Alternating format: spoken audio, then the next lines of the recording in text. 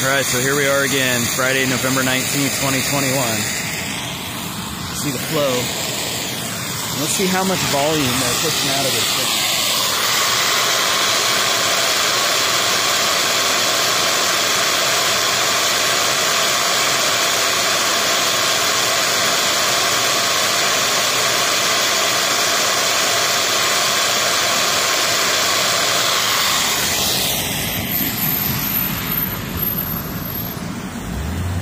Good stuff.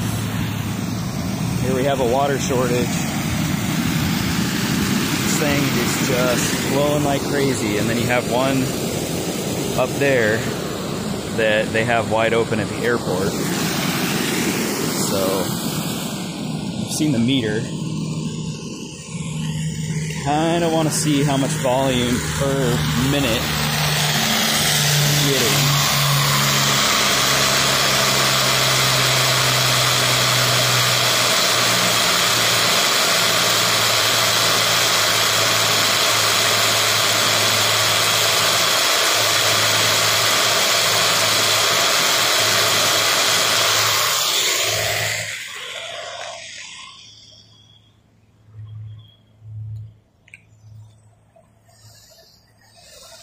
So while we, uh, a lot of water.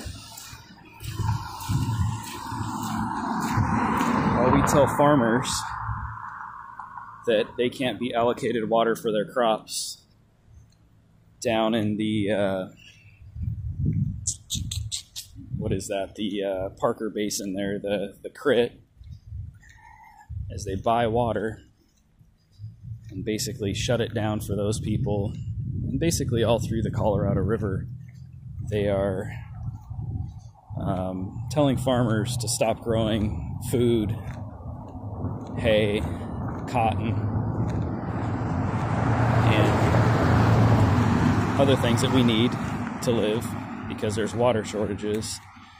Lake Havasu City apparently has a 2 million gallon water tank on the north end of town here and due to the EPA, maybe it's FDA, I don't remember, whoever uh, regulates the chlorine content, because you know they got to pump that chlorine into our drinking water.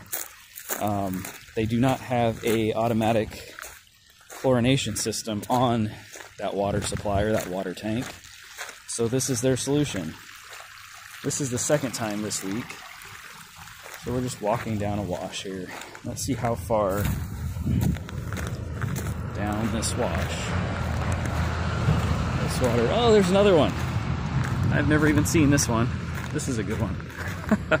this is new. So here is more water. I never knew this was here. That's a trip. So that must be this must be coming from the airport. This is a whole different one. Yeah. It's nice. It's like a natural waterfall. That's wild. So you can see how green everything is in here. This has been happening for years and years. And uh, I brought it to the attention of the mayor and the city council. Well, I kind of didn't bring it to the attention. I more uh, blasted it on a site called Havasu Orchids and Onions, which catches the attention of the people that pull the strings in communities. Um, but yeah, so here's an example of how we need to conserve water and how urgent it is that everybody does their part. It's really weird. I can't even get through because the vegetation is so thick. So, wait, maybe there's a little path right here. Who knows what's living in this?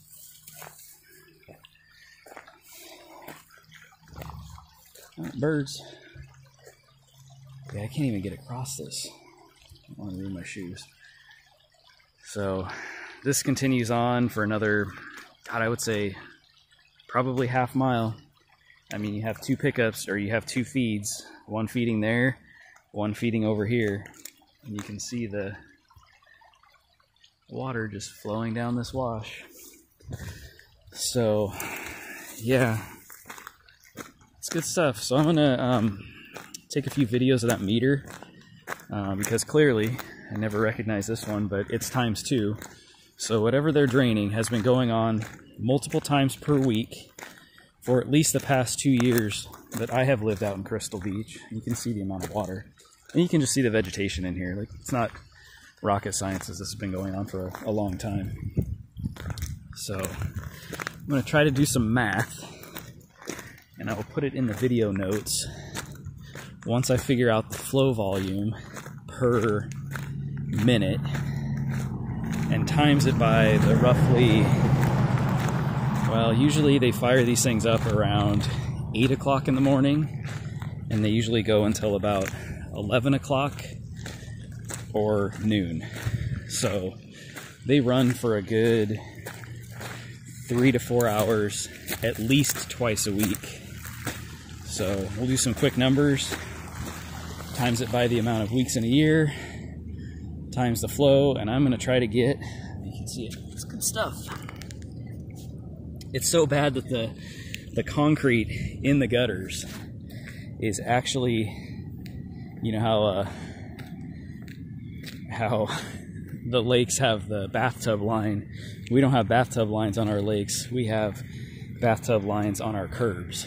So, oh, there's a jet taking off. All right. Well, it's uh hopefully one of those things that gets addressed. Like I'm not for busting people's balls unless it's deserved, but man, somebody should be accountable for this because this is this is not tens of thousands of gallons. This is not hundreds of thousands of gallons.